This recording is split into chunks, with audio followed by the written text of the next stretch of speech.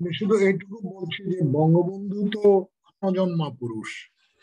বিশ্বের ইতিহাসে যারা একটি জাতি রাষ্ট্র প্রতিষ্ঠা করেছে এবং সারা জীবন সংগ্রাম করেছে, সর্বশ্রেষ্ঠ বাংলা জাতির বাঙালি বাঙালি জাতির সর্বশ্রেষ্ঠ বাঙালি এবং বাংলাদেশের ফাউন্ডিং ফাদার আর যে উদার মানসিকতা অসাম্প্রদায়িক চেতনা খেটে খাওয়া মানুষের কথা বলা এবং বিশ্ব ভ্রাতৃত্বের বন্ধনে যারা আবদ্ধ করে তেমন লোকের সংখ্যা খুবই কম।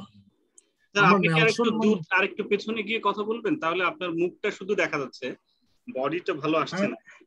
আরেকটু পেছনে গিয়ে। আরও কম হবে তো জায়গায় হ্যাঁ ডাউন করে নেন একটু জি। হ্যাঁ, এবার ঠিক আছে। হ্যাঁ এখন ঠিক আছে। এখন ঠিক আছে। মানে আমি চাচ্ছিলাম আপনার এইখান পর্যন্ত যেন আমি দিচ্ছি আপনার এই বুক বরাবর যেন দেখা যায় তাহলে ভালো লাগে। হ্যাঁ এবারে দেখা যাচ্ছে না এবার ঠিক আছে। জি জি জি জি এইভাবে আচ্ছা। স্যার একটু কথা বললে হবে। আচ্ছা আমি আমি বলছি এইভাবে যে বঙ্গবন্ধু তো ক্ষণজন্ম পুরুষ বিশ্বের ইতিহাসে বিরল নেতৃত্ব। তাকে তুলনা করা যায় মুসলিমের কিছু লোকের সঙ্গে। নেলসন ম্যান্ডেলার সঙ্গে তুলনা করা যায়। আমরা তুলনা করতে পারি আব্রাহাম লিঙ্কনের সঙ্গে। আমরা তুলনা করতে মার্টিন লুথার কিং এর সঙ্গে। আমরা তুলনা করতে পারি অনেক নেতা যারা প্রয়াত হয়েছেন তাদের সঙ্গে। সেই নেতারা তুলনার প্রেক্ষাপটে বঙ্গবন্ধু সারা বিশ্বে একটা নতুন ধারার প্রবর্তন করেছিলেন। তার মৃত্যুতে পুরো বিশ্ববাসী নেতৃবৃন্দের অনেকের রাজনীতির কারণে কিছু হয়তো চুপচাপ ছিলেন, কিন্তু যারা ওয়ার্ল্ড অপিনিয়ন নিয়ে পলিটিক্স নিয়ে কনসার্ন তারা কিন্তু ক্ষোভ প্রকাশ করেছিলেন। যেমন আপনার বলতে হয় Willy Brandt, Nobel laureate Willy Brandt and West chairman Federal Republic of Germany chancellor সে বলেছিল যে বঙ্গবন্ধুকে যারা হত্যা করেছে, যে বাঙালিরা, বাঙালিদেরকে আর বিশ্বাস করা যায় না। এই ক্ষোভ থেকে উনি বলেছিলেন। আর যদি আমরা হ্যারল উইলসনের কথা বলি former prime minister of UK তিনি বলেছিলেন এটা তোমাদের জন্য বিরাট লস আমার জন্য পার্সোনালি অনেক লস ইমেন্স লস যে ক্ষতি কোনো দিন পূরণ হওয়ার নয়। আমরা যদি আরও বলি ফিডেল কাস্ট্রো তো বঙ্গবন্ধুকে নাইনটিন সেভেন্টি থ্রিতে দেখা হয়েছিল জিআরসি অনেকেই আমরা জানি, যখন বঙ্গবন্ধুর পাশে বসে বলেছিলেন, আমি হিমালয় দেখিনি, কিন্তু আমি বঙ্গবন্ধুকে দেখেছি। সেই কথাটা বলার অর্থই হলো, তিনি এক্সপ্লেন করেছেন, বঙ্গবন্ধু, যে হিমালয়ের যে বিশালত্ব, তার ব্যক্তিত্বে, তার গুণাবলীতে, তার সাহসিকতে হিমালয় সম একটা ব্যক্তিত্ব। আর যদি আমরা ধরি, হাইকেল, একটা জার্নালিস্ট নাসেরের খুব ক্লোজ ছিল সেই হাইকেল বলেছিল আপনার আমরা বঙ্গবন্ধু কিন্তু শুধু বাঙালির নয় শুধু বাঙালির নয় বিশ্ব নেতৃবৃন্দের গণতন্ত্রায়নে উদার মানসিকতার বিকাশে এবং খেটে খাওয়া মানুষের কথা বলার প্রতিনিধিত্ব করার একজন ব্যক্তিত্ব যাকে ধারণ করে সারা বিশ্ব আমরা সেই সারা বিশ্বের ধারণ করা ব্যক্তিটিকে নির্মম ভাবে এই বাঙালি আমরা আমাদের কিছু বিভ্রান্ত সৈনিক হত্যা করেছিল। আজকে সেই অগাস্টের মাস অগাস্টের মাসে বঙ্গবন্ধুর প্রতি স্মৃতি, শ্রদ্ধা জানিয়ে শুধু এটুকু বলছি, যুগে যুগে কালাকালে কালে কালে বঙ্গবন্ধুর আদর্শ চিরঞ্জীব হয়ে থাকবে। লিভ সার্ভিসের জন্য নয়, আই মিন ইট, আমি এটা মনে করি, প্রাণে মনে প্রাণে বিশ্বাস করি। অনেকেই লিভ সার্ভিস দেয় বঙ্গবন্ধুকে নিয়ে। কিন্তু অন্তরে তারা বঙ্গবন্ধুকে ধারণ করে না। কারণটা হলো বঙ্গবন্ধুর যে বিশালত্ব, সেই বিশালত্বকে ধারণ করার মানুষ বাংলাদেশের সমাজে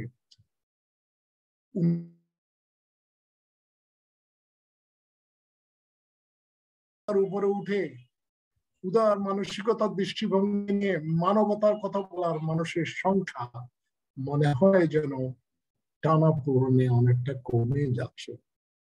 আজকের দিনে বঙ্গবন্ধু আমাদের মাঝে চিরদিন বেঁচে থাকবেন। আমরা যারা বঙ্গবন্ধু সময় দেখেছি, তার যৌবনে ত্যাগ তিতিক্ষা দেখেছি, জীবনের প্রায় অনেক বিরাট অংশ জেলে কারাগারে খাটিয়েছেন, যুদ্ধ করেছেন, সংগ্রাম করেছেন, গুলির মুখে দাঁড়িয়েও মাথা নোয়াননি। তার আদর্শ আমাদেরকে অনুপ্রাণিত করবে, ব্যক্তি স্বার্থের ঊর্ধ্বে দেশ পরিচালনা করার সাহস যোগাবে আর দেশকে গঠন করার জন্য সুদূর দৃষ্টিভঙ্গি নিয়ে এগিয়ে যাবে। বঙ্গ এই অগাস্ট মাসে আমরা যেন নিজে আত্মশুদ্ধির জন্য আত্মজিজ্ঞাসা করি এবং আত্মজিজ্ঞাসার মাধ্যমে যেন বঙ্গবন্ধুর আদর্শকে পুনর্জীবিত করি। এই আমার আমার আর দুটো প্রশ্ন আছে দুটো প্রশ্নের মধ্যে একটা প্রশ্ন হচ্ছে যে ওনাকে হত্যার করার করার পর রাজনৈতিক অঙ্গনে মানে আন্তর্জাতিক ক্ষতিটা আপনি কীভাবে মূল্যায়ন করবেন সেই সময়কালে? আন্তর্জাতিক অঙ্গনে তো কিছু ষড়যন্ত্র ছিল। বঙ্গবন্ধুকে যারা এখানে আমি আমি বলছিলাম রাজনৈতিক অঙ্গনে আন্তর্জাতিক যে ক্ষতি আন্তর্জাতিক ক্ষতিটা। মানে আমি বলতে চাচ্ছি যে শুধু বাংলাদেশে তো ক্ষতি হয়েছে এই বঙ্গবন্ধুকে হত্যার পরে বাংলাদেশের উন্নয়ন বাধাগ্রস্ত যেমন হয়েছে তেমনি অনেক অনেক ধরনের ক্ষতি হয়েছে। কিন্তু আন্তর্জাতিকও তো ক্ষতি মনে হয় হয়েছে। সেই জিনিসটা কি ব্যাখ্যা করা যায়? নিশ্চয়ই ব্যাখ্যা করা যায়। আলজিয়াস কনফারেন্সে নাইনটিন সেভেন্টি থ্রিতে যখন বঙ্গবন্ধু গিয়েছিলেন, তখন আলজেরিয়ান হালিম হায়র মোহাম্মদিন ফিডেল কাস্ট্রো, আরও অনেকেই সেখানে ক্যানিত খাউন্দা জাম্বিয়ার অনেক নেতা সেখানে একত্রিত হয়েছিলেন। তখন বিশ্ব মোটামুটি বঙ্গবন্ধুই বলেছিলেন যে বিশ্ব আজ দুভাগে বিভক্ত। এক ভাগ খেটে খাওয়া মানুষের, সাধারণ মানুষের কথা বলে আর এক ভাগ পুঁজিবাদ, সমান্তবাদ এসবের ধারণ করে। বঙ্গবন্ধুর মৃত্যুতে প্রগতিশীল চিন্তা চেতনা মানুষের এবং দেশগুলোর যে অগ্রগতি হওয়ার কথা ছিল, তা বাধাগ্রস্ত হয়েছে। আজকে মূল্যবোধের অবক্ষয় সারা দেশে, সারা বিশ্বে। আজকে মূল্যবোধের অবক্ষয়ের সঙ্গে যুক্ত হয়েছে, আমরা আমরা ফোর্থ ইন্ডাস্ট্রিয়াল রিভলিউশন কথা বলছি। আর fourth industrial revolution is important এই চতুর্থ বিপ্লব বিপ্লবকে আমরা অস্বীকার করতে পারব না। তার সঙ্গে যুক্ত হওয়া উচিত ছিল মানবিকতার। তার সঙ্গে যুক্ত হওয়া ছিল আদর্শের। তার সঙ্গে যুক্ত আছে সততা ন্যায়নিষ্ঠা এবং সুদূর মানব কল্যাণের। সেই মানব কল্যাণের দৃষ্টিভঙ্গিটা বঙ্গবন্ধু কিছুদিন বেঁচে থাকলে আরও প্রসারিত হতে পারত। সেইটা আমরা বিশ্বই হারিয়েছে সেই ভাবধারাকে। এটা great loss for the world সেটা বক্তব্য রাজনৈতিক নেতৃবৃন্দের, তখনকার রাজনৈতিক নেতৃবৃন্দের বক্তব্য থেকে হ্যারল্ড উইলসনের বক্তব্য থেকে প্রমাণ হয়। হাইকেলের বক্তব্য থেকে সমান হয় উইলি ব্র্যান্ডের বক্তব্য থেকে প্রমাণ হয় যে তিনি তারা বিশ্বের ছিলেন, বিশ্বকে এগিয়ে নিয়ে যেতে ছিলেন। তিনি বিশ্বকে ধারণ করেছিলেন। তার মৃত্যুতে বিশ্বই অনেকটা রিক্ত হলো। লাস্ট প্রশ্ন সেটা হচ্ছে যে, বঙ্গবন্ধুকে হত্যার পর বিশ্বের চোখে বাঙালির যে ভাবমূর্তি, সেটা কেমন হয়ে গেছিল?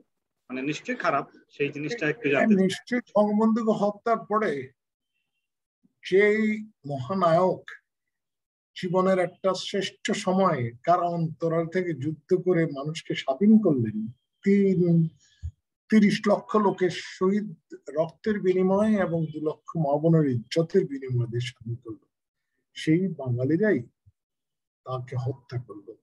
এই হত্যার মাধ্যমে আমরা যেটা করলাম, আমাদের দীনতাহীনতা কুপমণ্ডুকতা আর নৃশংসতার পরিচয় দিলাম।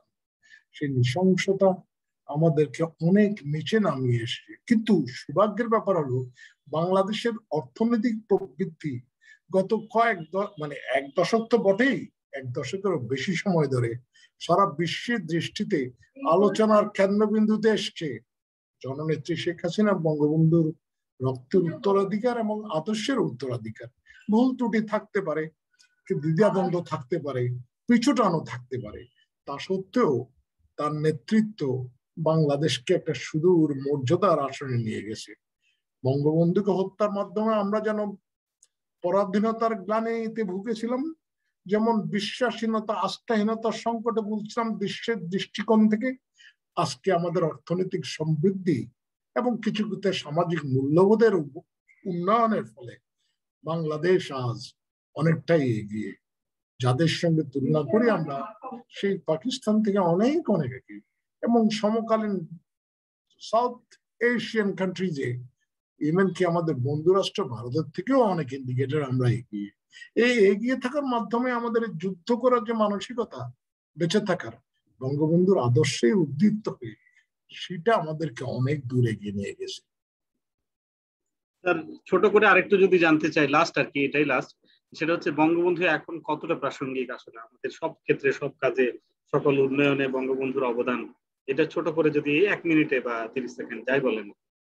এই যে যত কিছুই আমরা দেখছি, অনেকে মেগা প্রকল্পের কথা বলছেন, আমাদের মাননীয় প্রধানমন্ত্রীও বলেন, মেগা প্রকল্পের কিন্তু বঙ্গবন্ধুই ধারণ করেছিলেন। তিনিও যমুনা ব্রিজের কথা চিন্তা করেছিলেন।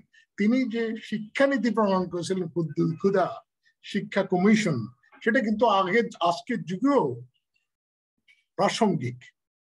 একমুখী শিক্ষা ব্যবস্থা বৈষম্যহীন শিক্ষা ব্যবস্থা, উদার অর্থনীতির ব্যবস্থা এইটা তিনি প্ল্যান করেছিলেন। আর এই যে আমরা বেদবুনিয়া খন্ডের কথা বলি সেটা তো বঙ্গবন্ধুর সময়ই প্রতিষ্ঠিত হয়েছিল আমরা যদি আরও বলি এই বিশ্ববিদ্যালয় কোনো স্বায়ত্ত শাসন এবং বিশ্ববিদ্যালয় কোনো চারটে বিশ্ববিদ্যালয় এক দিয়েছে সেটা তো বঙ্গবন্ধুই দিয়েছে। আর যে ক্লাস এইট পর্যন্ত শিক্ষা প্রাথমিক শিক্ষাকে ক্লাস এইট পর্যন্ত করার আমরা এখনও করতে পারিনি সেটা তো বঙ্গবন্ধু করেছেন। আর খেতে খাওয়া মানুষের জন্য বেকার ভাতার সিস্টেম ইন্স্যুরেন্সের প্রবর্তন, এইসব তো বঙ্গবন্ধুই করেছেন। হেলথ কমপ্লেক্স ইউনিয়ন পর্যায়ে হেলথ কমপ্লেক্স আমরা করেছি, কিন্তু ভালোভাবে চলছে, বড় বড় হসপিটাল হচ্ছে। আইডিয়া তো বঙ্গবন্ধুর, বঙ্গবন্ধুই তো করেছিলেন। যেখানেই যান আপনি, বঙ্গবন্ধুর আদর্শের স্পর্শ, হাতের স্পর্শ লেগেই থাকবে।